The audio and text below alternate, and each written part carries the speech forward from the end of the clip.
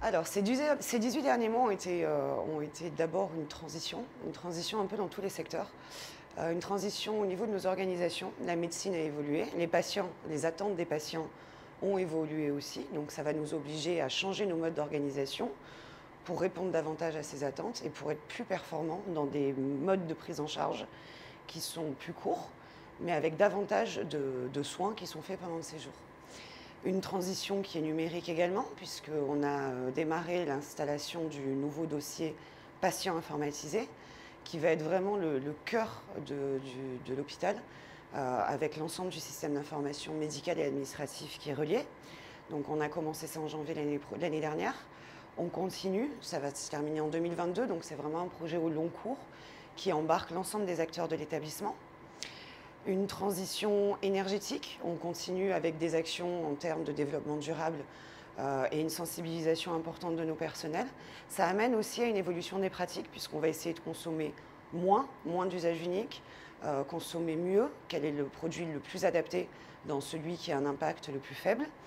Et enfin, euh, comment amener nos déchets vers des filières qu'on va pouvoir valoriser. Euh, des interrogations sur la mobilité aussi.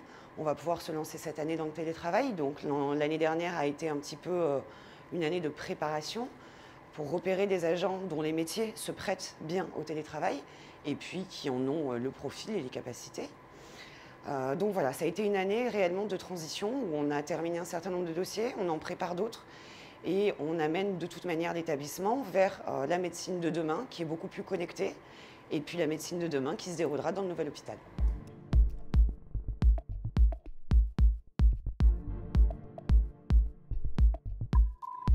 Alors, transition numérique, ça c'est sûr que ça va énormément nous occuper, euh, c'est vraiment du quotidien. Euh, au mois d'avril, on va pouvoir inaugurer notre nouveau service de médecine nucléaire. On double complètement les capacités. Ça va faire de nous, euh, qui avons déjà une filière d'excellence sur la cancérologie, vraiment un, vaisseau amiral sur le, sur le sujet, avec des nouveaux modes de traitement qui se trouvent quasiment nulle part ailleurs en Europe. Donc ça, c'est vraiment une partie très très importante puisque ça structure toute une filière. On va réunir d'ailleurs euh, tous les professionnels de l'oncologie de l'établissement pour élaborer une stratégie à moyen terme et à long terme sur la cancéro à Monaco. On a un gros travail aussi sur la cardiologie. Notre nouveau chef de service est arrivé. Le centre cardiothoracique de Monaco a également euh, renouvelé une partie de ses effectifs. Donc nous allons travailler en synergie avec le centre cardio pour voir comment on peut euh, créer des synergies et donner une offre de santé qui soit encore meilleure. Voilà, ça c'est vraiment les trois grandes thématiques pour ce début d'année.